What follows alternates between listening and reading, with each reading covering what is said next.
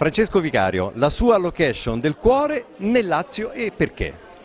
Ma eh, sono tanti anni che giriamo una serie, si chiama Che Dio ci aiuti, in un, in un, in un chiostro meraviglioso di Roma, di Trastevere.